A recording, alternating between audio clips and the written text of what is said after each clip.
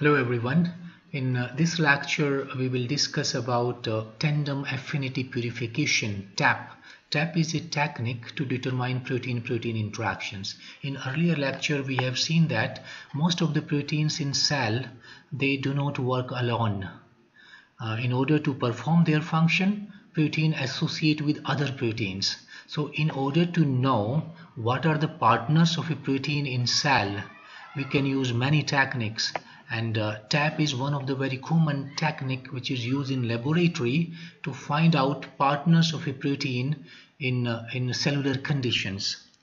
And uh, we have seen that there are different ways there are different techniques to find out protein-protein interactions qualitatively and quantitatively. And uh, one of those technique is tandem affinity purification TAP. This we'll discuss in today's lecture Uh, TAP is a qualitative technique for uh, determination of protein-protein interaction. It means by using this technique, you can find out you can find out and identify partners of a protein which are there in, uh, in cellular conditions. It's a co-purification technique and it purify protein complexes. So in this technique, you, you take a protein of your interest and you insert that protein into a cell and uh, eventually inside the cell there are other cellular proteins so uh, the protein of interest will oligomerize will associate with other proteins and then you fish out the protein of your interest and find out the partners of the protein. So it's a co-purification technique which purify protein complexes which are produced in cellular conditions. But uh, there is a problem. Uh, problem means uh, first proteins cannot be uh, inserted into the cell.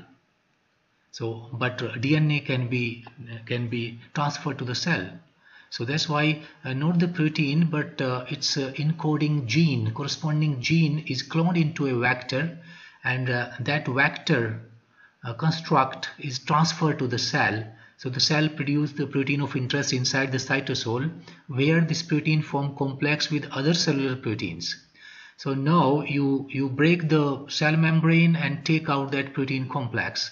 But another question problem here is that there are many proteins in the cell. So how do you identify your protein of interest?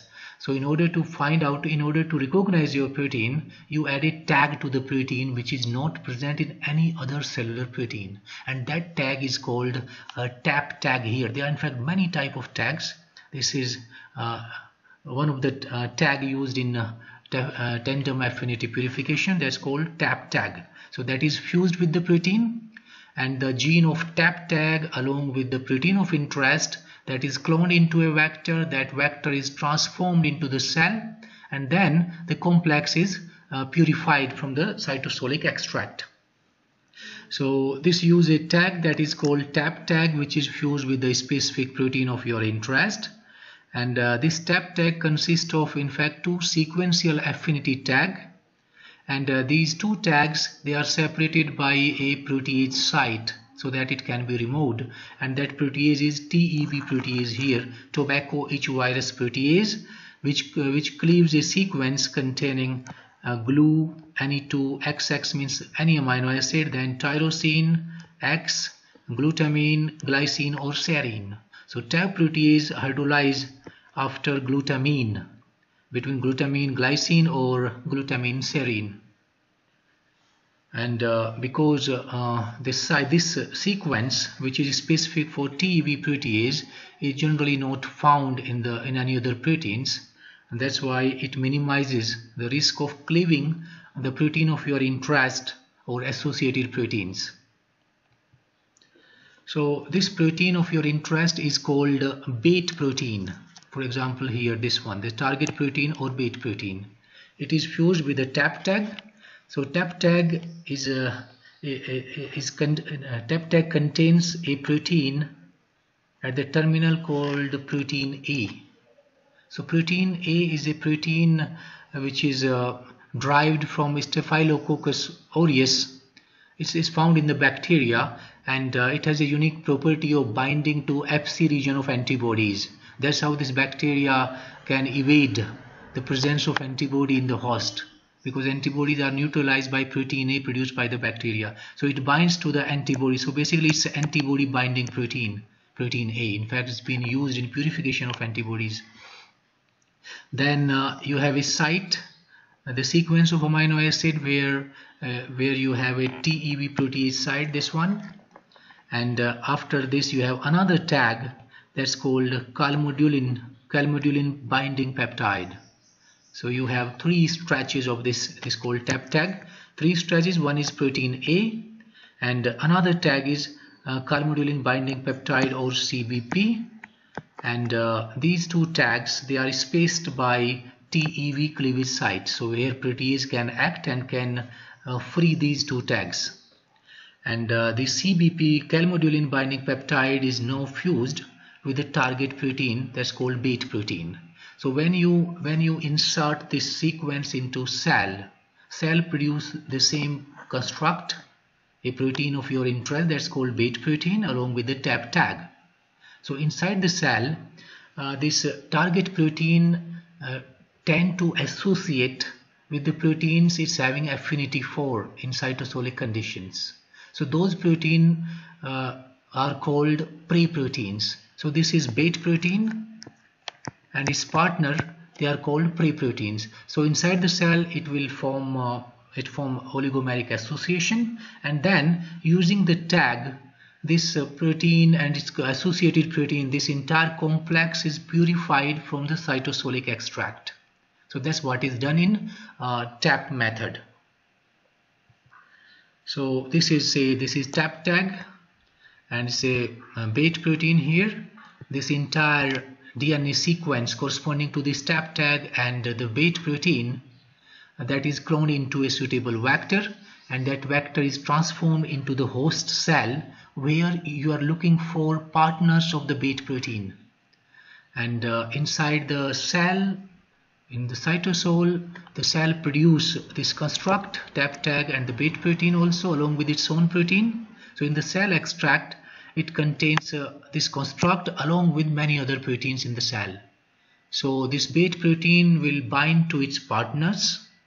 For example here, so this bait protein is binding to many molecules here. Some of the molecules will be having a specific binding which really binds but there will be some non-specifically weakly bound proteins as well. So here, so it forms a complex.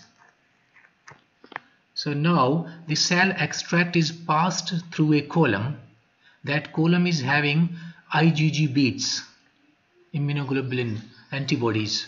So what will happen because your tag this tag contain protein A and protein A has affinity for IgG so this protein A will be retained by IgG beads and along with protein A you have entire tag bait protein and all the prey proteins okay so they are purified from other cells other other cellular other cellular proteins. Now there are some non-specifically bound protein also so it is washed extensively with the buffer. As a result only specifically bound protein to the bait they are retained. For example here there are four four partners of this protein of interest. So these four would be retained uh, rest will be washed off. Then uh, this uh, uh TEV protease is used here so TEV protease after addition of TEV protease, uh, this is uh, uh, here uh, the TEV protease will hydrolyze its site present in the tap tag. So as a result, you have a tap tag after TEV protease means it will having a CBP calmodulin binding peptide. This is uh, bait protein and 4 specifically bound the partner protein, the prey-proteins. Now this extract is passed to the second level of purification step where uh, the column contain calmodulin beads. Calmodulin beads, calmodulin is a protein which binds to calcium and uh, in presence of calcium it binds to a calcium binding peptide also which is present in the tap tag. So here calcium is used in fact so in presence of calcium, calmodulin beads or another affinity column that bind to the leftover tag and the uh, protein complex.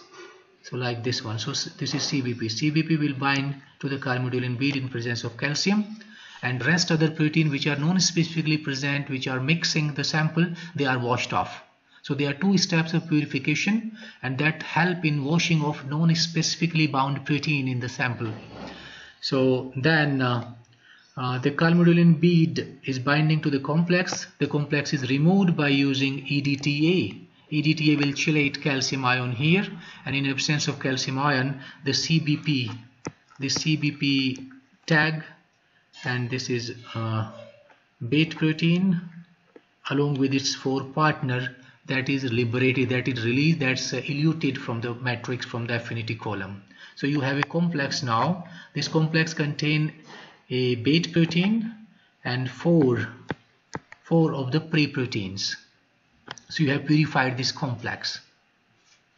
Now the next objective is because you cannot see it at this moment you need to find out uh, what are these four proteins which are associating with your protein of interest.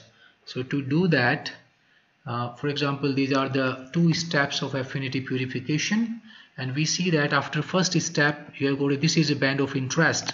This is a band of band containing uh, bait protein along with all four proteins. It will having some molecular weight whatever. And then it has some non-specifically bound protein No, non-specific some adulteration some mixing is also there after first step and when you do second step of affinity purification you will see that this this band has disappeared. So you have pure complex here. So that is done in native page in native jelly electrophoresis so that it does not dissociate uh, the complex which is naturally formed in the cytosolic environment.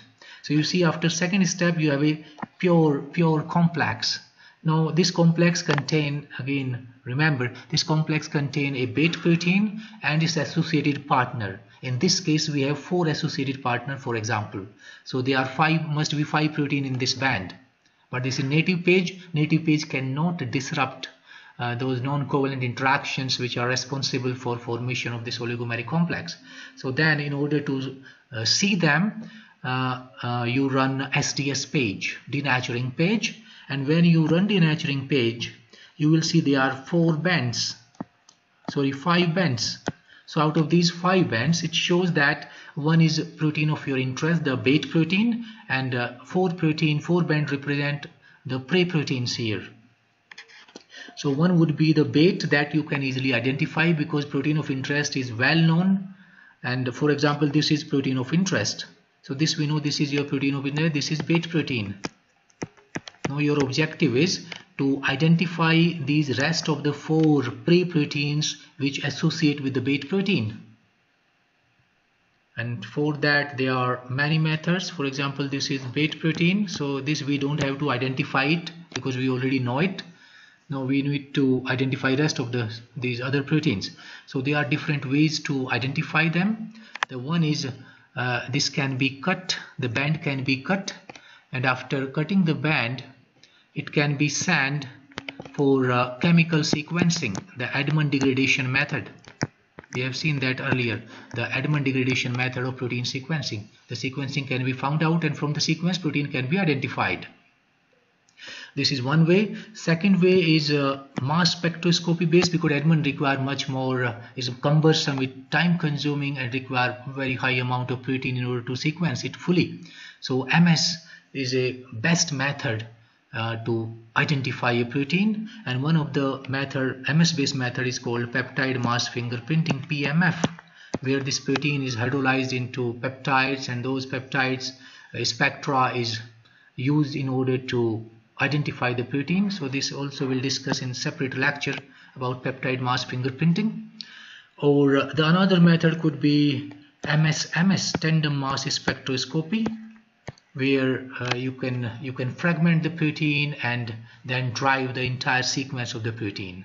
This also we'll discuss in some other lecture. So these are the three common methods very common methods which are employed to identify protein. So you can identify all the proteins now and uh, then you can conclude that this bait protein is associated with these four proteins in order to perform its function in the cytosolic condition and that was the objective of this technique to find out to identify the partners of partners of a protein in cytosol which are that's what is required for performing a function by that protein. So uh, tandem affinity purification has advantages like prior knowledge of composition is not required. You don't need to know what are the partners of the, given protein. You just just uh, make a construct with the tag and you transform into the host cell and then purify it. It's a very rapid purification method under native conditions.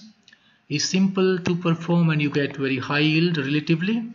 And uh, it reduces non-specific binder because there are two steps of purification. So non-specifically bound protein uh, they are removed by this technique but this also have disadvantages. So like a uh, tag might interfere with the binding of the protein because you are tagging a protein of your interest. For example you have a protein and you are tagging that with the C terminal. C terminal is having tap tag. And this bait protein bind to the protein using C terminal only. In that case because tap tag is already there on the C terminal so prey protein may not bind. So that's how tap may interfere with the protein binding. In such cases what one can do you can uh, you can change the tag. You can put this to the N terminal instead of C terminal. So one can try in, in a different location of the tag in order to make the method succeed. Or uh, tag may also not be sufficiently exposed from the affinity beads. We are using affinity beads then you have tag and you have bait protein. So sometimes if this tag is too small the bait protein is not sufficiently exposed to the outside environment so that prey protein can bind. So in these conditions one may try to increase the length of the tag or you may add some more residues in between so the bait protein is exposed to the solvent properly and uh, there are also possibility that uh, TEV protease may cleave protein of interest or your uh, prey proteins although it's uh, unlikely but it's still theoretically possibility is there. If the uh, cleavage site is present in any other protein TEV protease will also hydrolyze that. And uh, it may not be suitable for screening transient protein interactions. Uh, transient protein interaction means the proteins when they come together for a very short period of time so in that cases, this method will not work. So only if they are proteins are strongly together for longer period permanently together, th those can be fished out using this method from uh, cytosolic environment.